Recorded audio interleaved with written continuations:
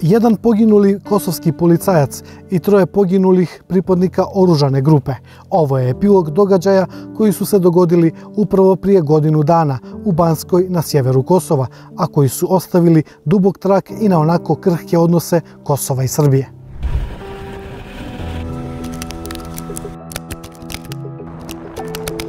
O oružanom napadu u Banjskoj na sjeveru Kosova, kao i o aktualnom bezbjednostnom stanju na Kosovu, ekskluzivno za TRT Balkan govorio je ministar unutrašnjih poslova Kosova, Dževal Svecla.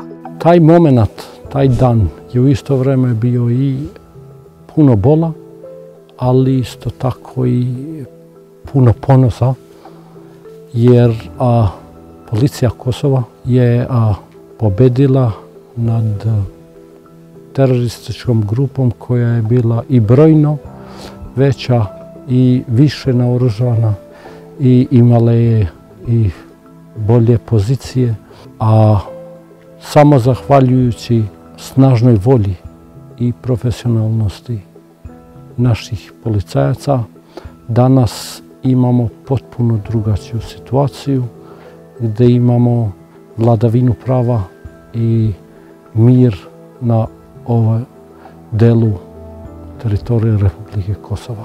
Godinu dana nakon napada u Banjskoj, situacija sada je mirna, ali sa građanima sa kojima smo razgovarali, a koji su odbili govoriti ispred kamera, kažu da je njihov život sada komplikovaniji.